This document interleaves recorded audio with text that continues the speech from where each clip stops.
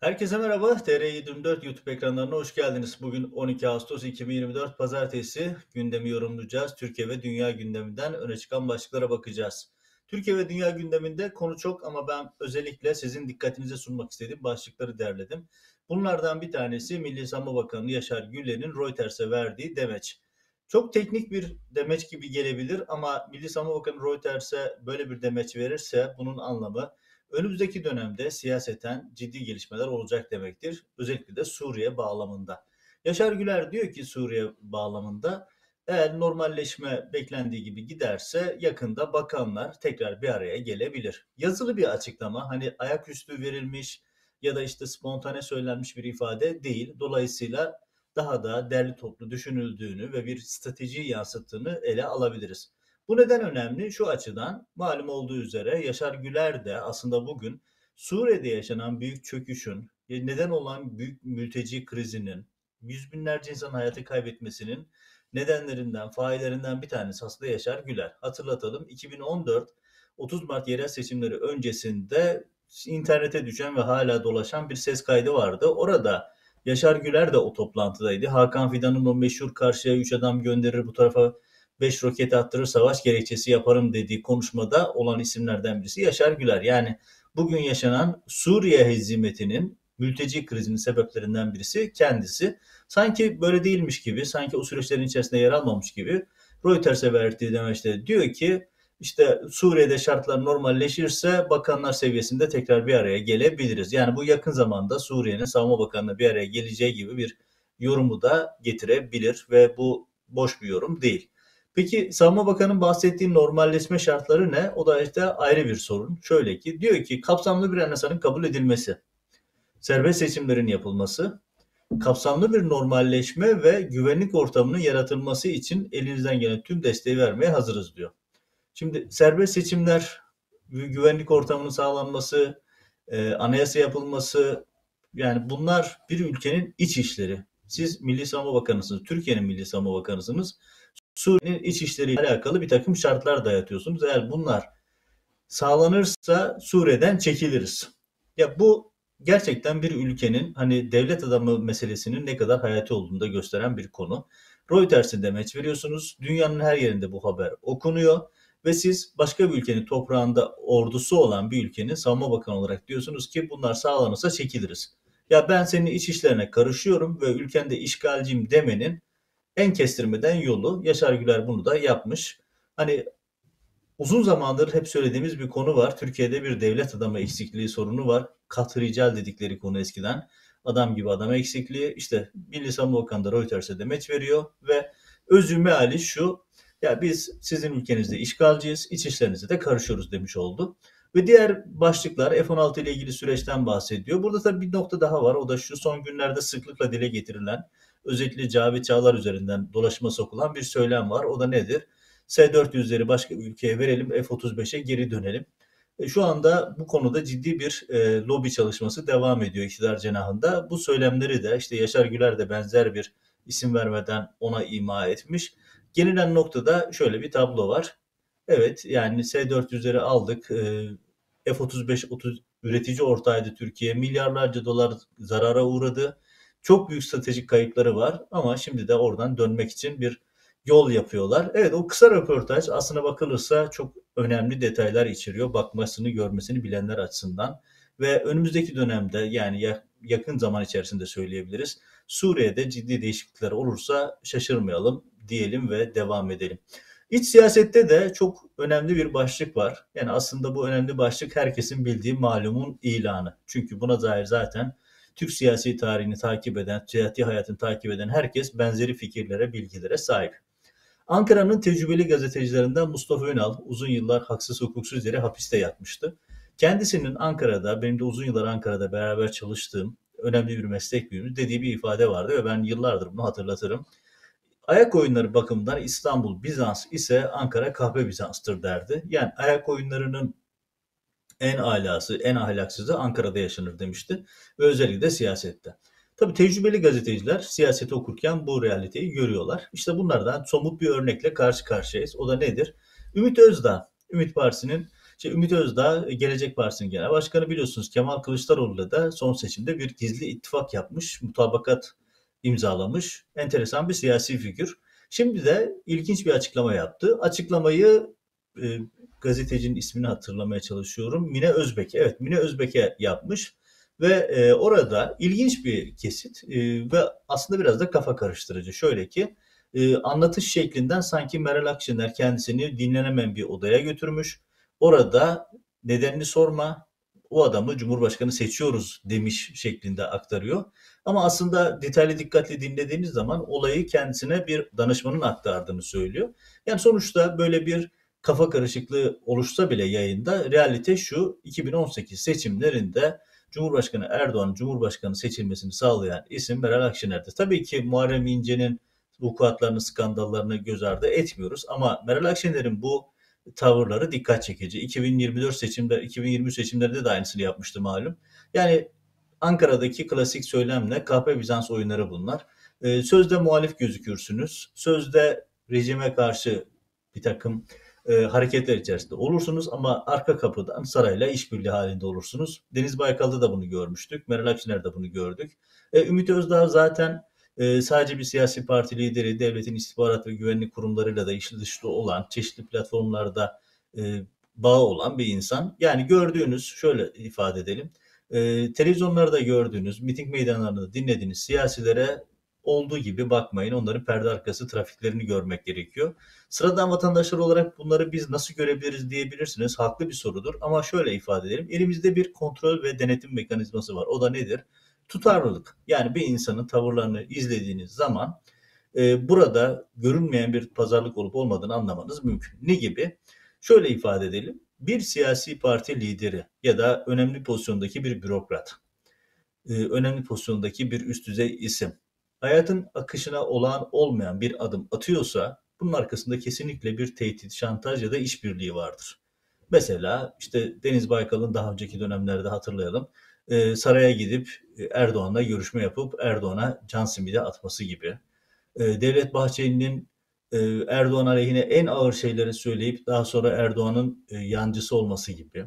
Meral Akşener'in Erdoğan'a karşı her şeyi söyleyip hatta işte şu olmazsa namussuzum diyecek kadar ileri ifadeler kullanıp tersini yapması gibi liste uzayıp gidiyor. Yani görünen tablo bize aslında perde arkasındaki olayların ne olduğunu bilmesek bile bir takım kirli pazarlıkların olduğunu gösteriyor. Ve aslında oynanan şeyin bir tiyatrodan ibaret olduğunda bize teyit etmiş oluyorlar. Benzeri bir durumu biz nerede görüyoruz? 15 Temmuz'da görüyoruz. Bakın şimdi perde arkasında Cumhurbaşkanı seçimlerinde bu pazarlıkları yapanlar 15 Temmuz gibi Türkiye tarihinin en önemli olaylarından birinde sizce bu pazarlıkları, bu anlaşmaları yapmamışlar mıdır? Yani böyle düşünüyorsanız Türkiye'yi hiç tanımamışsınız demektir. Ve herkesin ittifak ettiği işte Kemal Kılıçdaroğlu dün bir e, kanalda konuşuyordu. E, artık ancak YouTube kanallarına çıkabiliyor. Televizyonlara çıkma şansı bulamıyor. E, orada dediği şey şuydu. Evet 15 Temmuz'la ilgili şaibeli noktalar var. Meclisi çalıştırmadılar. Hakan Fidan'ı e, meclise göndermediler. Hulusi Akar'ı göndermediler. Kemal Bey bunu 18. yılda mı fark etti? Hayır ilk günde biliyordu. Ama siyaset ve Ankara'nın Bizans oyunları böyle şeyler. Meral Akşener bilmiyor mu 15 Temmuz'daki kumpası? Gayet iyi biliyor. Yılların tecrübeli siyasetçisi. Ee, Ümit Özdağ bilmiyor mu? Hepsi biliyor. Ama işte o perde arkası pazarlıklar, perde gerisinde dönen bir takım ittifakların sonucu bu hamleler. Yoksa herkes her şeyi biliyor. 15 Temmuz'un da bir kumpası olduğunu ve Erdoğan rejiminin e, devlet aklı deyip, devleti bahane edip kendi tek adam rejimini inşa ettiğini herkes biliyor. Bugün Müesser Yıldız'ın bir yazısında vardı. Ee, aynı Bodrum'da saklanan iki komutandan bir tanesi hapiste, bir diğeri de Genelkurmay ikinci başkanı oldu. Ve bunun sayısız örneğini size yıllardır anlatıyoruz. Aslında herkes her şeyi biliyor ama maalesef gerçekleri söylemek, ifade etmek de herkesin harcı olmuyor. Evet özetleyerek söyleyelim 2018 Cumhurbaşkanlığı seçimlerinde Meral Akşener danışmanı üzerinden Ümit Özdağ'ın aktardığı konu bu Ümit Özdağ'ın bahsettiği kişi bir danışmanı, bir anket sahibi, e, anket şirketi sahibi daha doğrusu ifadeyle. O isim kendisine aktarıyor. Dediğim gibi biraz sanki Meral Akşener kendisine doğrudan aktarmış gibi anlaşılıyor ama öyle değil. Ama sonuçta gerçek olan bir şey var. Meral Akşener sarayla işbirliği yapıp 2018 seçimlerinde Erdoğan'a çalışmış. 2023 seçimlerinde çalışmadığını düşünen varsa bilemiyorum. Türkiye siyasetini herhalde yakından takip etmiyordur diyelim. Ee, Kılıçdaroğlu'nun bir ifadesi var. O da e, önemli. Tam da bu tartışmanın üzerine denk gelmesi açısından da önemli. Ee, Kılıçdaroğlu Kısa Dalga web sitesine bir yazılı röportaj vermiş. Orada söylediği şeyler var. Başlıklar da var ama bir bölüm çok dikkat çekici. Ee, Kılıçdaroğlu'nun soruya verdiği cevap, Meral Akşener'in saray ziyaretiyle ilgili soruya verdiği cevapta dediği şey şu. Yaşadığımız bu topraklarda maalesef ihaneti de görebiliyoruz. Doğrudan Meral Akşener'e ihanet ettin demiş. E, bu da dikkat çekici önemli gelişmelerden bir tanesi. Bakalım Meral Akşener bu iki önemli açıklama ile ilgili ne diyecek? Biz yayın saatine kadar herhangi bir açıklamasını görmemiştik. E, Kılıçdaroğlu'nun CHP şey AKP MHP ittifakla ilgili söylediği cümleyi de aslında önemsemek lazım. Neden? Çünkü yani bu yeni bir realite değil ama yeni söyleniyor. Kılıçdaroğlu da bunlardan bir tanesi. O da diyor ki ortada bir koalisyon yok. Devleti ve devletin yarattığı rantı paylaşım kavgası var. Çıkara dayalı bir koalisyon var ve maalesef çıkara dayalı koalisyonlar uzun sürüyor şeklinde bir analizi var. E, politikadan, siyasetten devam edelim. Son günlerde ilginç bir tartışma var sosyal medyada. Gelecek Partisi'nin AKP'ye katılacağı yönünde. Hatta Davutoğlu'nun bu yönde sinyaller verdiği yönünde e, haberlerde, kulislerde çıktı. E, mümkün mü? Evet son derece mümkün. Çünkü Ahmet Davutoğlu'nun hedefi, hesabı, kitabı, bütün gayesi zaten AKP'ye genel başkan olmak. Hani bugün Erdoğan dese ki gel koşa koşa partiyi kapatıp gidecek. Bunu yıllardır söylüyorum. Bu yeni bir durum değil. Çünkü Davutoğlu'nu tanıyorum. AKP dengelerini tanıyorum. Davutoğlu'nun bir hedefi hırsı var. Siyasi egosu inanılmaz yüksek ve hedefi hani Erdoğan'ı da hep fakir görür Davutoğlu. Erdoğan'ı böyle okumaz, e, bilmez, cahil olarak değerlendirir. Bunu yakın çevresindeki herkes bilir. Davutoğlu atıldığı, darbeyle gönderildiği partiden ki %49 gibi rekor bir oyla seçilmiş bir isimdi.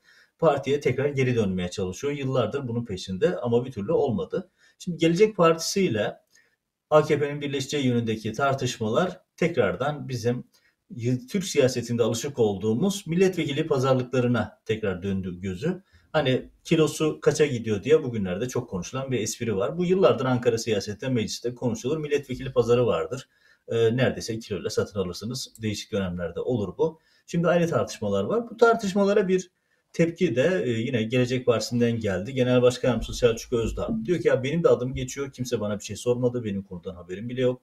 Ayrıca böyle bir tartışmayı da yani biz ciddi bir operasyonda karşı karşıya olduğumuzu düşünüyoruz. Çünkü parti toplandı, çalışıyor gayet de iyi de gidiyoruz. Biz burada ciddi bir operasyona muhatabız diyor e, mümkün ama bu siyasette rastlamadığımız bir tablo değil. Yani hem operasyon mümkün hem de milletvekillerinin pazarlıklar sonucunda iktidar partisine katılması. Tabii iktidar partisinde Davutoğlu katılırsa bugüne kadar söylediklerini tekrar insanlara hatırlatmak lazım. Erdoğan'a neler demişti, neler söylemişti ama şimdi dönüp AKP'ye katılıyorsa o zaman Davutoğlu'nun da hani zaten intihar etmişti artık bu herhalde son hamlesi olmuş olur. Tabii AKP'ler Davutoğlu'nu alır mı? Ben buna ihtimal vermiyorum. Hani her ne kadar Erdoğan çok sıkışmış olsa da, siyasi desteğe ihtiyacı olmuş olsa da, her milletvekilinin bir anlamı olsa da, matematiksel anlamda söylüyorum, hani sayı değeri açısından yoksa kişilik ya da içerik anlamda bakmıyor AKP, rakamsal değerine bakıyor. E, da Davutoğlu'na ben AKP'nin kapı açacağına çok ihtimal vermiyorum. Ne kadar sıkışmış olursa olsun başka bir partiden alır ama Davutoğlu'nu almaz diye okuyorum. Ama tabii ki yani siyaset bu. Siyasette çok köşede olmamak gerekiyor. Evet, bir Türkiye realitesiyle karşı karşıyayız. O da şu, geçtiğimiz haftalarda çok konuştuk. Instagram'ı kapatmışlardı. Yoğun baskılar ve AKP'nin kendi tabanından da gelen tepkilerden sonra Instagram'ı açtılar. Ama e, olay bununla bitmiyor tabii ki. İşte bugün yeni bir haber. Sokak röportajında Instagram yasağını eleştiren vatandaş tutuklandı. Normalde olmalı mı? Hayır. Normalde sokak röportajları yani herhangi bir platform yani televizyonlar e, gazeteleri bıraktım. Sokak röportajlarında sokaktaki herhangi birinin söylediği cümle. Yani soruşturma konusu bile olmaması gereken şeyler bunlar. Ama Rütük harekete geçiyor. Ebu Bekir Şahin özellikle tam anlamıyla bu işler için oraya atanmış bir isim. E, Rütük harekete geçiyor ve akabinde jet hızıyla soruşturma açılıyor ve sonrasında jet hızıyla tutuklama. Tutuklanan insanlara bakıyorsunuz. Yani fikrini beyan etmiş, tepki gösteriyor. Yani bu bu ifade üzerine soruşturma bile açılmaz. Ama Türkiye burası ve sokak röportajlarında da bu e, aşamaya geldik. Peki bu mesaj ne? Bu mesaj açıkçası şu. Şimdi ana akım medya dediğimiz televizyonlar, gazeteler e, tamamı Erdoğan rejiminin kontrolünde, tamamı kendi yönetiminde hatta aile şirketleri olarak yönetiyor. Ve bunların itibarı kalmadı. Türkiye'de bu televizyonları izleyip bu televizyonlara bakıp fikrini şekillendiren, kararını değiştiren pek kişi kalmadı. Sosyal medya öne çıktı. Artık sosyal medya platformları ön planda. YouTube yayınları, Instagram, Twitter paylaşımları. Bunları kontrol etmek için yoğun bir çaba harcıyor Erdoğan. Bunları manipüle etmek için çünkü tümden kapatmak da aleyhine olabilir. manipüle etmek için aktrol orduları kuruyor. Kamu hazinesinden maaşlara ödenen bir yığın troll var ve bu insanlar tehdit, şantaj, her türlü ahlaksızlığı yapıyorlar. Ona rağmen hala hazırda tam kontrol sağlayamadı. Çünkü sokak röportajları ilginç bir şekilde e, nabzın attığı yer haline geldi. Öyle ki bazı sokak röportajları milyonlarca kez izleniyor. İşte bu tutuklama kararıyla aslında tam anlamıyla o insanlara mesaj. Hani sokakta söylediğiniz herhangi bir şeyden de tutuklanabilirsiniz. Hani bir, bir zamanlar AKP'li siyasal İslamcılar e, Kuzey Afrika'ya örnek gönderir. İşte Kuzey Afrika'daki diktatörler sokakta başörtüsüne bile karışır derdi. Erdoğan rejimi ve onun uzantıları bir adım, bir adım daha da öteye götürdü. Sokakta söylediğiniz her cümleden de tutuklanıyorsunuz.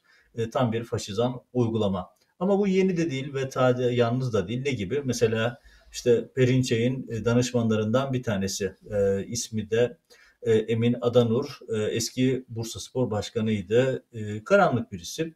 Ve bu isim nitelikli dolandırıcılıktan tutuklanmıştı. Ne oldu? Perinçey'in tabiriyle altın çağını yaşayan ve siyasetin köpeği olan yargı e, gece yarısı mahkeme heyetinde itiraz eden, tahliye reddeden hakimi görevden alıp yerine başka bir hakim koyup heyeti değiştirdiler ve e, Emin Adanur tahliye edildi. Hem de gece yarısı operasyonuyla. Geçen hafta da haberlerde size aktarmıştık. Uyuşturucu baronlarını gece iki buçukta tahliye eden hakimler gördük. 750 bin dolar karşılığında. Evet Türkiye realitesinde bunlar sıradan rutin şeyler haline geldi maalesef. Ve Erdoğan rejimine göre ki isminde adalet olan bir parti, Perinçey'in tabiriyle siyasetin köpeği haline gelen yargıdan manzaralar da bunlar. Hep hatırlatıyorum 15 Temmuz akşamı 5000'e yakın hakim savcının görevden alınıp tutuklanmaları bu, bu günlere hazırlık içindi. Yargıyı ele almadan, yargıyı kontrol etmeden Türkiye'de rejim değiştiremezsiniz. Şu anda da Erdoğan'ın yaptığı buydu. İşte AKP, MHP teşkilatlarından toplanan avukatlar hakim yapıldı. Meslekte geçen sürelerini tecrübeye saydılar ve ağır ceza reisleri olarak da atadılar ve sonuçta gördüğünüz fecaat ortaya çıktı. E, bu ara bir başka sosyal medyanın önemli gündemi, ana akım medyada görmek mümkün değil tabii ki, e, sokak köpekleri meselesi. E, beklenen oldu. Ne gibi? Yani bu yasa, AKP ve destekçilerini çıkardığı sokak köpeklerine yönelik yasa, e, her ne kadar adını böyle süsleseler, değiştirmeye çalışsalar da sokak köpeklerinin itlafını, yani katliamı gerektiriyordu. Böyle bir hedefle yapılmıştı ve gerçekleşti. Fark etmiyor CHP'li ya da AKP'li ki CHP'li bazı belediyelerden de mesela Uzunköprü Belediyesi'nden böyle bir görüntü geldi. Farklı yerlerde benzer görüntüler var. Ankara, Niğde ve Uzunköprü'den sonra başka yerlerde de aynı görüntüler var. Maalesef ki maalesef iç parçalayan görüntüler. Düşünün sokak köpeklerini yakalamışlar, ellerini ayaklarını bağlamışlar, boğazını kesip öldüren, onları poşetlere, torbalara koyup sağa sola atan belediyeler var. Yani tam bir vahşet, tam bir e, izahı zor bir tanım açıkçası. Yani buna başka şeyler söylemek istiyorum da söylemem uygun olmaz ekranda. Ya düşünün ya sokak köpeklerini ya bir sokak sokak köpeği deyip e, hani böyle biraz daha aşağılamaya çalışanları vesaire. Ya o bir canlı, o bir hayvan. O bir o hayvanın bu şekilde işkence ederek öldürülmesi, boğazının kesilmesi, kafasının kesilmesi, sonra torbalara doldurup sağa sola atılması. Yani ne tür bir vahşi insanlarsınız? Nasıl bu kadar vahşileştiniz? Gerçekten izah etmek zor. Ama sorun şu. Buna yol veren Erdoğan rejimi, bunun önünü açan Erdoğan rejimi ve bunu destekleyen, bunu olacağını bile bile bu yasayı geçiren Erdoğan rejimi faturaları ona çıkarmak gerekiyor. Maalesef Türkiye'nin değişik yerlerinden benzer görüntüler var. Vahşet görüntüleri. Hani sokak köpeklerini kontrol edelim derken bir başka vahşette imza atıyorlar. Tabi her zaman olduğu gibi yine gözden kaçırılan bir nokta var. Erdoğan rejimi 23 yıldır iktidarda.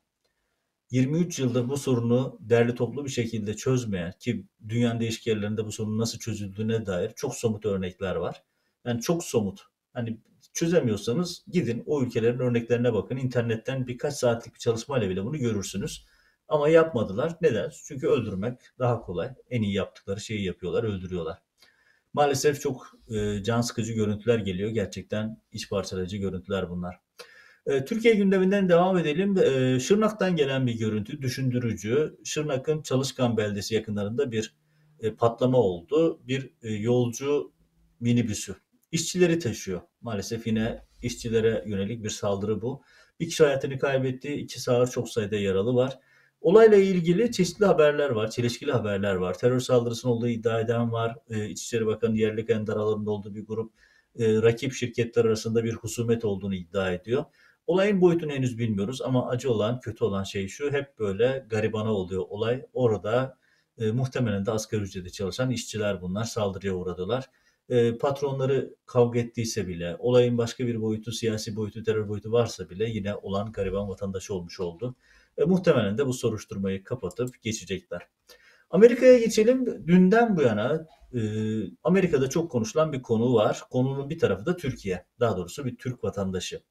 E, Gökhan Gün, Amerikan e, Savunma Bakanlığı Pentagon'da çalışan bir Türk mühendis. E, iddiaya göre Pentagon'un çok gizli belgelerini başka bir ülkelere ki orası açıklanmadı henüz belli değil. Yani bilinmiyoruz. E, iddianame açıklandığı zaman göreceğiz. Satmaktan yani casusluktan tutuklandı. Hatta son e, seyahati Meksika'ya gidecekken yanında çok gizli belgelerle evinde yapılan, Virginia'daki evinde yapılan baskında gözaltına alındı ve tutuklandı. Çok sayıda gizli belgeden bahsediliyor. Olay biraz tuhaf. Şöyle ki hani e, Pentagon'da çalışan bir Türk mühendis e, çok sayıda gizli belge, e, top secret e, seviyeli yani çok çok gizli belgeler evinde yüzlerce sayfa. Hani bunlar neden evinde? Hani bir yere çalıyorsak, götürüyorsa neden evinde tuttu? Ayrı bir soru işareti. Sonra e, hayat hikayesine baktığınız zaman Virginia'da, üç evi, Miami'de, Texas'ta, orada burada başka yerlerde mülklerin olması da çok normal değil. Hani bu kadar bir serveti kazanması da soru işareti. Ama casusluk iddiası ağır bir iddia. Yani FBI'de bunu çok sıkı çalışmıştır muhtemelen. Yarın salı günü mahkemesi var. Ben de mahkemeyi izleyip size aktarmaya çalışırım. Ee, enteresan bir dosya, ilginç bir dosya. Bakalım altından ne çıkacak? Hangi ülke adına casusluk yaptı, yaptıysa ve bunların içerisinde ne tür belgeler sızdırdı, ne tür belgeleri götürdü? Bu da tabii ki önemli bir soru işareti. Hani Meksika'ya balık tutmaya gidiyordum şeklinde bir açıklama yapmış kendisi polisler FBI ama tabii soru işareti yani yanında çok gizli Pentagon belgeleriyle Meksika'ya balığa mı gidilir sorusu da haklı eleştiri bir soru e, eleştirel olarak da gündeme getirmek mümkün. Bakalım e, dediğim gibi dosya çok enteresan, ilginç bir hikaye. Daha yeni gelişiyor. Gelişmeleri takip edip size aktarmaya çalışacağız. Amerika'dan devam edelim. Elon Musk biliyorsunuz Twitter'ın patronu dünyanın en zengin insanlarından bir tanesi. Twitter yani yeni adıyla X'in patronu. E, bugün bu akşam e, Amerika saatiyle Doğu saatiyle diyelim akşam 8'de çünkü Amerika'da saat dilimleri var büyük bir ülke olduğu için. E, Twitter'da Elon Musk Donald Trump'la röportaj yapacak. Canlı yayın Donald Trump'tan soru, Donald Trump'la sohbet edecek, sorular soracak. izleyicilerden gelen soruları aktaracak. Enteresan bir yayın olacak kesin. Çünkü Donald Trump zaten son derece enteresan bir kişilik. Elon Musk da ondan kalır değil. Ve canlı yayında gelen sorular, tepkiler üzerine. Bakalım Elon Musk diyor ki çok eğlenceli bir yayın olacak. Görelim hatırlarsınız Twitter eski adıyla Twitter eski yönetimiyle Donald Trump'ın hesabını kapatmıştı. Elon Musk da 2022'de 44 milyar dolar para verip Twitter'ı satın aldı, adını değiştirdi. Sonra Trump'ın hesabını açmıştı. Şimdi de Trump'a ciddi destek veriyor. Bakalım bu destek nelere yol açacak. İlginç bir yayın olacak. Ben de şahsen izleyip yorumlarımı size aktarmak istiyorum. Ee, Joe Biden başkanlıktan çekildikten sonra ilk kez konuştu. Dün yani pazar günü itibariyle e, Amerika'da normal e, gelişmiş medeni ülkelerde olduğu gibi insanlar çoğunlukla tatildeydi. E, Biden da memleketinde Delaware eyaletinde bir parkta bisiklete bindi, sahilde güneşlendi. Daha doğrusu gölgede oturdu, dinlendi. Böyle görüntüler yansıdı ve ilk defa bu başkanlık çekildikten sonra, başkanlık yarışından çekildikten sonra daha doğru ifadeyle CBS'e röportaj verdi ve röportajında dediği şey şu, Trump Amerika için bir tehdit, Trump'ı yenmeliyiz, yenmeliyiz, yenmeliyiz. Üstüne basa basa üç kez bunu ifade etti ve Kamala Harris'in başarısı için sahaya ineceğini, çalışacağını, kendisinden beklenen her türlü desteği vereceğini açıkladı. Buradaki Trump'ın tehdit olduğu ve yenmeliyiz, yenmeliyiz, yenmeliyiz vurgusu dikkat çekici. Çünkü 2024 seçimlerinin ana motivasyonu bu olacak gözüküyor. Trump bir tehdittir ve Trump'ı yenmek zorundayız şeklinde bir vurgu. Önümüzdeki günlerde çok sıklıkla duyacağımız bir başka başlıktı. Evet bugün 12 Ağustos'tu. Türkiye ve dünya gündeminden öne çıkan başlıkları toparlamaya çalıştık. TR724 ailesi olarak size güncel, orijinal yorumları düzenli olarak aktarmaya çalışıyoruz. Ee, sabah yayınları, öğle yayınları, akşam yayınlarıyla, özel dosyalarla. Siz de bu yayınları değer buluyorsanız, beğeniyorsanız lütfen e, beğenme tuşuna basmayı ve yorum yazmayı ihmal etmeyin. Çünkü YouTube algoritmasında zaten dezavantajlıyız. Zaten Erdoğan rejimiyle YouTube arasında yapılan anlaşma sebebiyle yayınlarımız algoritmik olarak sansürleniyor. Bunları aşabilmek için sizin desteğinize ihtiyacımız var. Bu hatırlatmayla da bülteni bitirmiş olalım. İzlediğiniz için teşekkürler. Yeni yayınlarda görüşmek üzere.